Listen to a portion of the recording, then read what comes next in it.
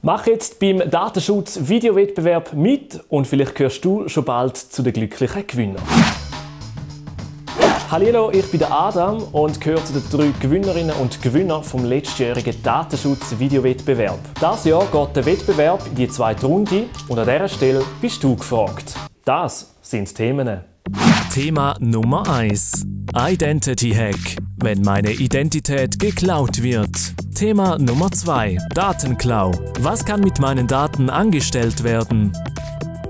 Wähle eines von diesen zwei Themen aus und mache ein Video dazu. Wie das genau aussieht und wie das Video gemacht ist, das ist allein deiner Kreativität überlassen. Hallo, ah, ich komme gerade noch rechtzeitig. noch ähm, wichtig ähm, ist einfach, ähm, dass du dieses Video bis am 30. August auf YouTube aufladest und den Link an die unten eingeblendete E-Mail-Adresse schickst. Ja? Die besten Videos werden am 14. September auf dem YouTube-Kanal vom Datenschützer vom Kanton Zürich bekannt geben. Außerdem werden die besten Videos honoriert.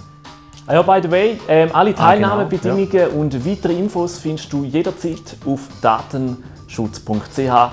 Wir freuen uns auf dieses Video. Video.